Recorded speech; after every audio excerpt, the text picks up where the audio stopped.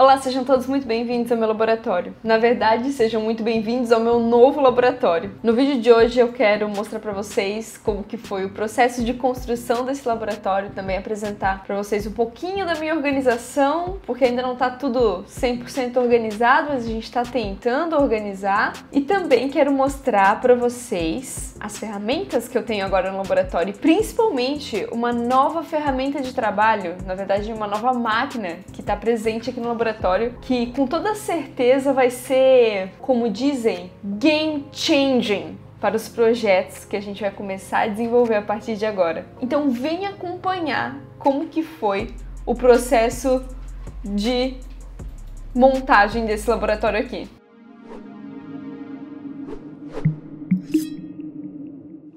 Vídeo de hoje é patrocinado pela PCBWay. A PCBWay é uma fábrica que produz placas de circuito impresso com ótimo custo-benefício. Foi com eles que eu fiz a maior parte dos projetos de placas de circuito impresso que eu tenho hoje aqui desenvolvidos no laboratório. E recentemente eu mandei fabricar mais um lote de placas, então tem muita coisa nova para vir. Essas novas placas devem chegar aí para o final desse mês ou para o início do mês que vem. Entre essas placas vai estar também uma plaquinha que eu vou utilizar para controlar os LEDs que eu vou botar em toda essa parte aqui ó, de trás do meu laboratório. O negócio vai ficar bem bonito, bem iluminado, mas isso é assunto para um próximo vídeo que eu quero instalar esses LEDs aqui junto com vocês. Mas então vamos lá, vamos começar pelo início. Tô gravando esse vídeo para vocês aproveitarem os últimos segundinhos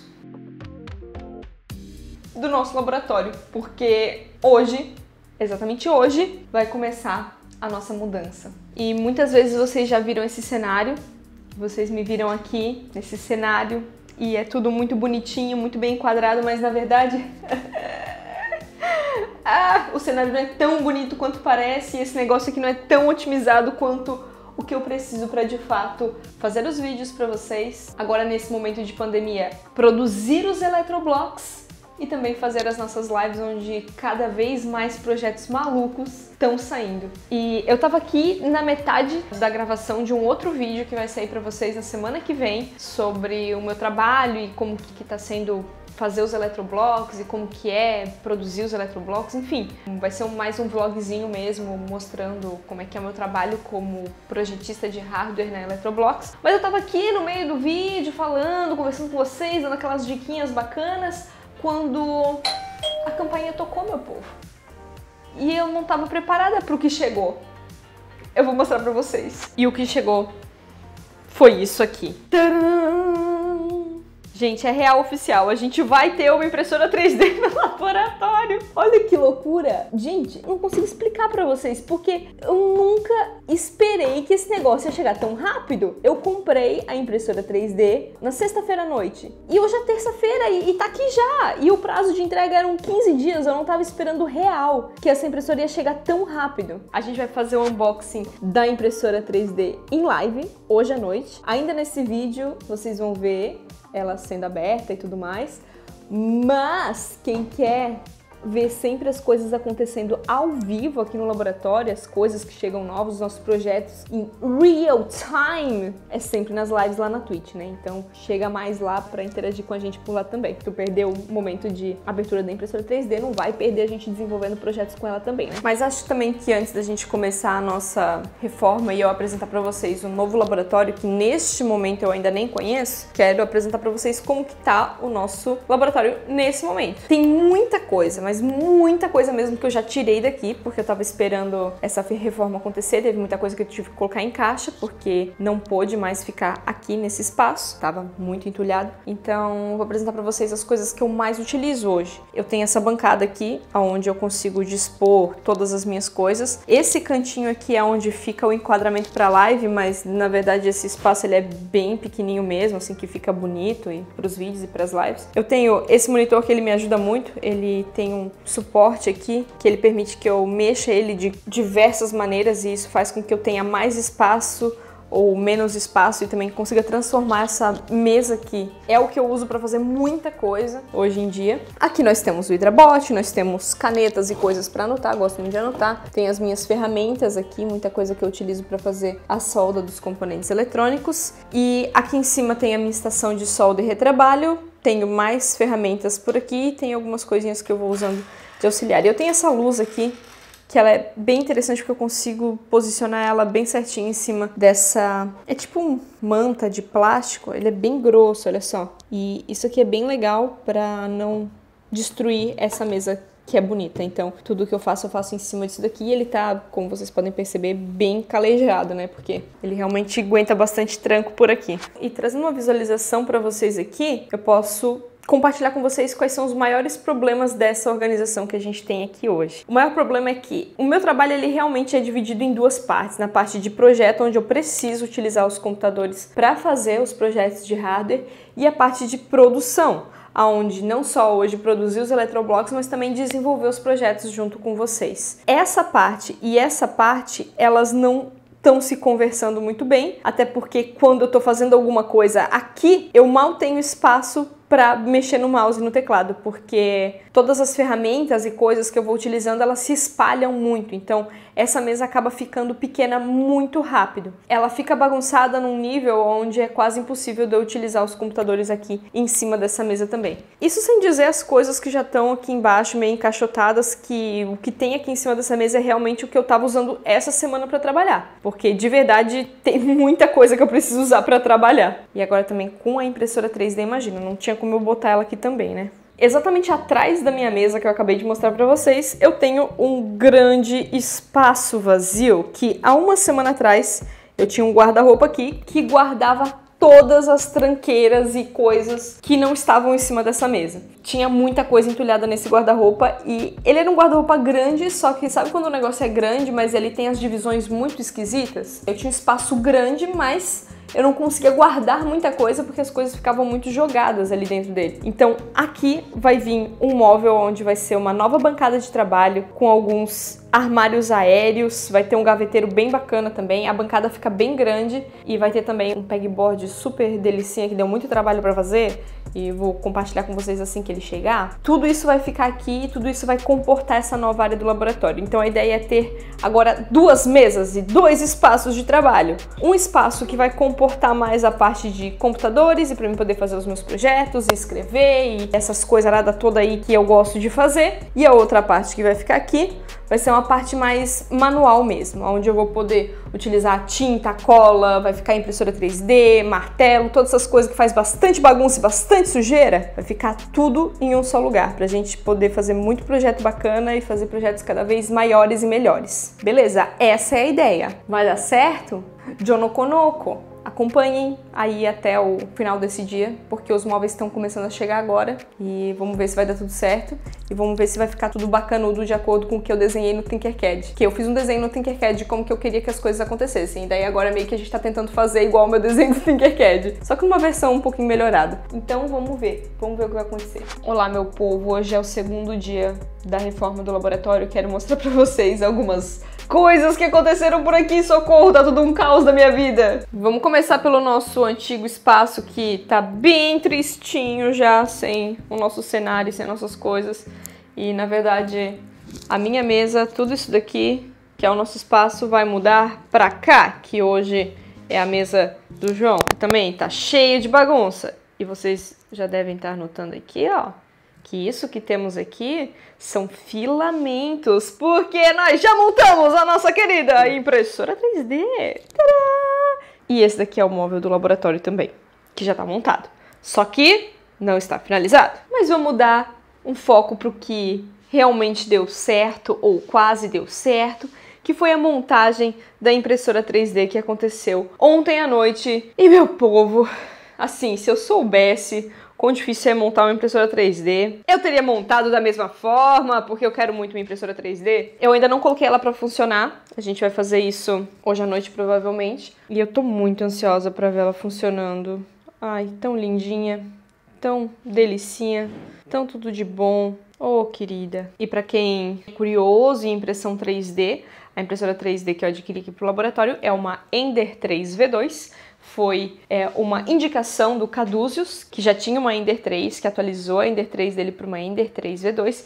E eu já assisti um monte de vídeo, um monte de coisa na internet sobre essa impressora. Eu fiquei apaixonada por essa bichinha aqui. Então, assim, conquistamos a nossa tão esperada impressora 3D. Ela tá toda cheia de plástico ainda, porque a gente realmente só montou ela. E olha, meu povo, não sei se vocês já montaram uma impressora 3D, mas eu tive dificuldade nisso aqui. E agora, mostrando pra vocês um pouquinho do móvel do nosso laboratório. Muito provavelmente, eu ainda não sei, na verdade, como é que vai ficar a parte de enquadramento das câmeras e tudo mais, mas provavelmente vai ser algo parecido com isso daqui, sabe? Eu gosto muito dessa parte aqui de madeira do ladinho e eu reaproveitei aquele painel que a gente tinha atrás do nosso cenário para fazer aquela parte ali também. Mas uma das maiores atualizações é essa big gigantesca bancada aqui, é, na verdade pegboard, pra gente colocar as ferramentas que neste momento estão todas jogadas dentro de gavetas. Uhul! Essa aqui, que é de eletrônica, tá bem organizadinha, na real. Essa gaveta aqui, ó minha pantufa. Essa gaveta aqui provavelmente vai ser liberada, porque tem mais ferramentas que eu vou colocar por aqui.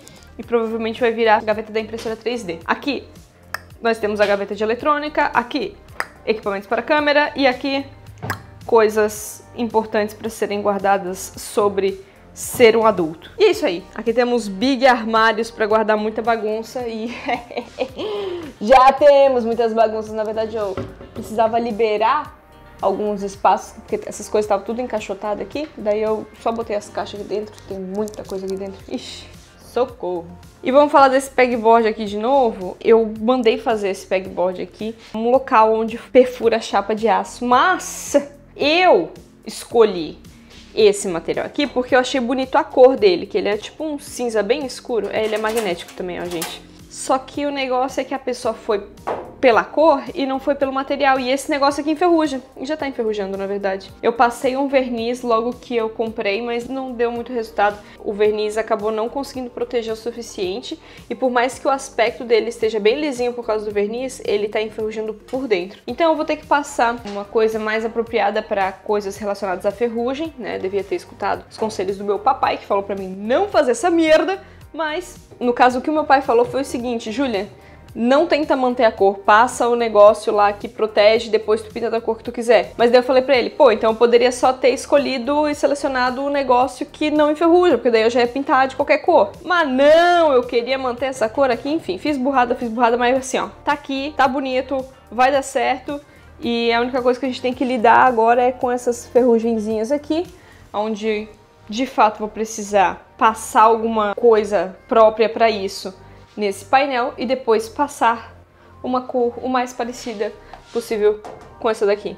Que era isso aqui que eu queria, né? Essa corzinha aqui no nosso cenário. Mas ainda tá faltando mais uma coisa nesse móvel, que ainda não chegou, que é uma prateleira aqui, ó, é uma, uma bancadinha, que ela vai vir mais ou menos até aqui assim. Porque eu preciso de um espaço muito parecido com esse que a gente tem para deixar a minha estação de solda e retrabalho. Eu preciso que ela fique em cima para que eu possa puxar esses fiozinhos aqui, ó, e usar ela aqui embaixo e depois vir aqui e guardar de volta para que ela não ocupe espaço na minha mesa de trabalho e aqui eu possa colocar minhas bagunças e as coisas que eu utilizo para trabalhar. Ela precisa ficar em cima.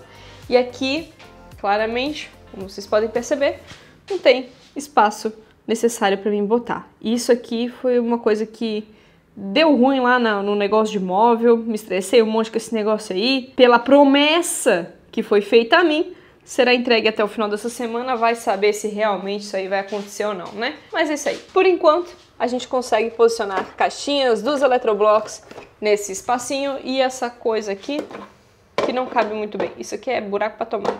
Tô escondendo com essa caixinha. E aqui, ó, dá pra a gente colocar umas coisinhas aí também. Fechou? O bacana também é que agora eu tô perto da minha janela e na minha janela eu tenho plantas. Sim, gente, eu sou uma mamãe responsável de plantas. Não cuido delas muito bem, mas elas nascem mesmo assim porque o poder está dentro delas. Elas são fortes, elas são independentes. Eu sou uma mãe de plantas independentes, porque assim, para elas nascerem aqui e ficarem saudáveis, só a independência mesmo, né? Hoje tá um dia muito nublado lá fora, mas mesmo assim dá para mostrar para vocês as minhas plantas. Aqui eu tenho ervas de gato para o senhor Manuel se deliciar. Eu tenho um pé de romã que, por incrível que pareça, realmente está nascendo uma romã e, e tem mais romãzinhas aqui tentando nascer. Isso aqui é um pé de morango. Eu quero muito ter morangos naturais na minha vida. Salsinha, porque é muito importante para jovens adultos poderem temperar a sua comida. E rúcula, porque é muito importante que jovens adultos comam legumes assim como todas as pessoas do mundo. E aqui escondidinha eu tenho uma planta decorativa, uma suculenta, que eu decidi podar e ela ficou feia, tadinha. Mas já tá nascendo, já tá se revigorando novamente. Mas agora, com uma impressora 3D, quem sabe o projeto Plantas Inteligentes, o projeto Vamos Salvar as Plantas da Júlia, realmente aconteça, hein? A gente já fez um vídeo sobre projetos incríveis, mostrando projetos feitos com Arduino de automação para as plantinhas ficarem felizes e saudáveis. Já fiz meu dever de casa, já peguei referências e eu acho que assim, tá na hora de fazer alguma coisa com essas minhas plantinhas por aqui, né? Deixe nos comentários como ajudar as plantas da Júlia, como que você pode contribuir para a saúde e vida e uma vida melhor para as plantas da Júlia. Deixa nos comentários que eu vou ler, preciso. Elas precisam. Mas tem muita coisa para fazer aqui ainda, gente. Vou contar para vocês, tem bastante coisa. Nesse momento agora, nesse exato momento, eu tô podre de cansada, porque ontem eu achei que era só colocar as coisas de volta pro laboratório, mas assim, eu não, não, imaginava que eu tinha tanta coisa. Tem umas coisas também que eu vou ter que jogar fora porque não vai caber aqui. E não tem muito o que fazer, tem muito trambolho que eu fico guardando, eu sei que vocês fazem isso também, de guardar os materiais nada a ver, porque acham que um dia vão utilizar, no final a gente acaba não utilizando e só vira entulho. Só que assim, tá virando entulho durante muito tempo. Tem coisa que eu trouxe para essa casa aqui quando eu me mudei, porque eu achei que eu ia utilizar, já não usava no antigo laboratório mudei pra cá, trouxe as coisas e eu não tirei de dentro de caixa. Então, com certeza são materiais que eu não, não vou utilizar mais. Então, ó, bora pra próxima, vamos pro lixo, pra reciclagem. Porque não tem o que fazer não, não tem como a gente ficar guardando tudo mais. E agora o que eu vou fazer é modificar as bancadas, então. A minha mesa vai se tornar a mesa que hoje é do João e a mesa do João vai se tornar a minha mesa. Vamos ver se isso vai dar certo, porque tem muito fio aqui para mudar de lugar agora, porque essas coisas de computador envolve muito fio. Mas agora que eu tenho uma impressora 3D, quem sabe a gente encontre uma solução para todos os nossos problemas. Porque sim, eu estou depositando toda a solução de todos os problemas que eu tenho na minha impressora 3D. Não me decepciona, filhinha, não me decepciona. Porque se tu me decepcionar, eu vou te amar mesmo assim, porque tu é linda demais, bichinha bonita.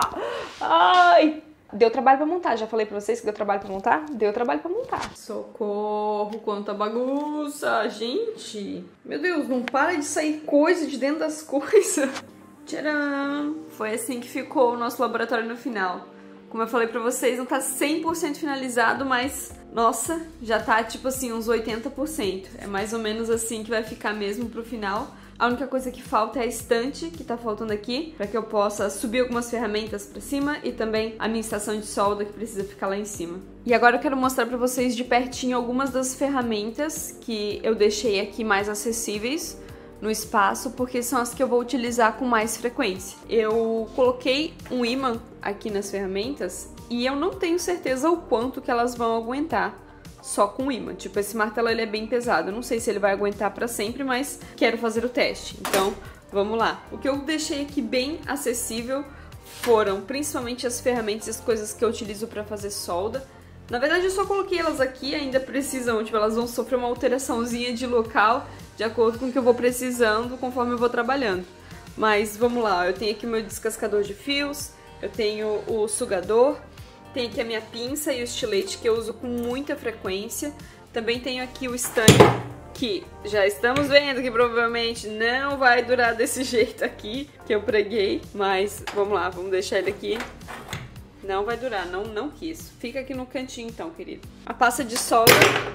Gente, já tô vendo que o negócio vai dar tudo ruim, que isso, tá caindo tudo.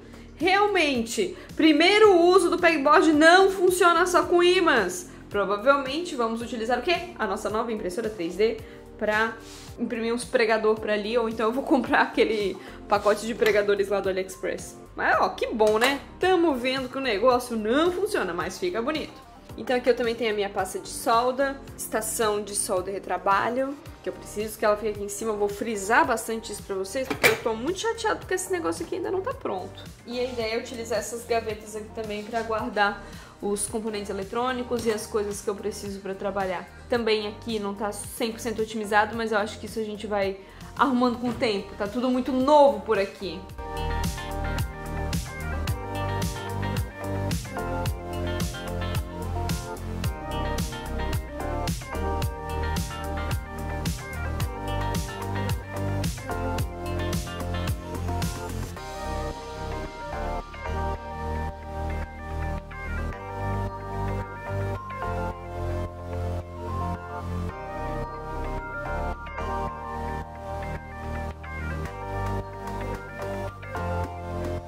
E esse é o espaço de trabalho que a gente tem agora. E eu tô muito feliz que o meu espaço realmente ele expandiu. Nesse momento eu tô gravando aqui com vocês e tudo que eu preciso para gravar os vídeos, para fazer as lives, para programar junto com vocês, para construir os esquemáticos das placas, tá tudo aqui, tá tudo muito fácil de existir, sabe? Antes eu tinha que fazer uma gambiarra para conseguir fazer esse espaço se tornar um espaço para as lives, depois um espaço de trabalho para os eletroblocks e depois um espaço para gravar vídeo. As coisas não estavam se conversando conversando muito bem e agora eu tenho bastante espaço para fazer bastante bagunça. E é muito bom ter essa bancada aqui atrás porque eu consigo dividir bem essas coisas. Então, se eu estou programando, se eu estou utilizando o computador, eu estou nessa bancada. E se eu estou colando lixo com cola quente, fazendo gambiarrologia, é ali que a gente vai fazer. Tem muita coisa que a gente ainda vai desenvolver em conjunto nesse espaço e eu sei que muita coisa também vai se adaptar conforme eu for existindo aqui dentro. Então, eu organizei as coisas de um jeito que, com toda certeza, conforme eu for aí vivendo,